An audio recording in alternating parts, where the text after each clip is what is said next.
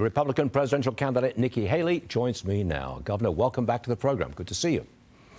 Uh, if I may. Good morning from Iowa. indeed.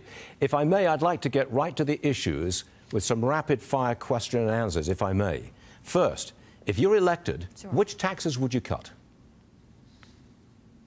We, we definitely make the small business tax cuts permanent. We would cut taxes on the middle class, and we would eliminate the federal gas and diesel tax. We would start there. Um, I think that's hugely important. Small businesses are the heartbeat of our economy. We need to start acting like it, and we need to make sure we allow the middle class to breathe. Wh- They've really taxes? struggled during this you time. say you'd cut middle class taxes. Which taxes on the middle class would you cut?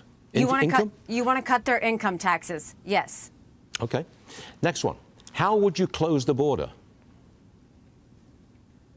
First of all, I think we have to defund sanctuary cities. I passed the toughest illegal immigration law in the country with E-Verify. We need to do that nationally. Every business has to show that the people they're hiring are in this country legally. We'll put 25,000 Border Patrol and ICE agents on the ground and let them do their job. We will go back to the Remain in Mexico policy because no one should even step foot on U.S. soil. And instead of catch and release, we'll go to catch and deport. Will you deport those people who are already here illegally?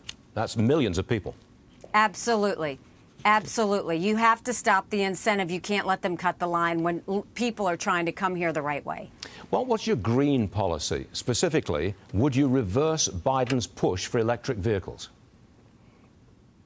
We absolutely need to roll back all of Biden's green subsidies, including what he's had the EPA do. Right now, the EPA cares more about sagebrush lizards than they do about whether we can afford our utility bills.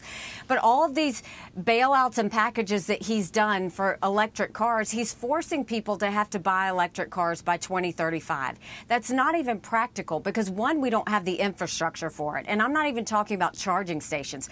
Electric vehicles are heavy. Our roads and bridges wouldn't even be able to handle it if we did it. Secondly, 70% of the batteries in electric cars come from China, our number one national security threat. So that's not smart. But thirdly, the biggest reason is don't push people on what they have to do and how they have to live. That's the problem we've had with government the past eight, ten years is they now think they know better than the people. That's the wrong way to go. If we want to improve the environment, let's transition. Let's partner with the producers on how the best ways are to go about that. And let's hold China and India accountable.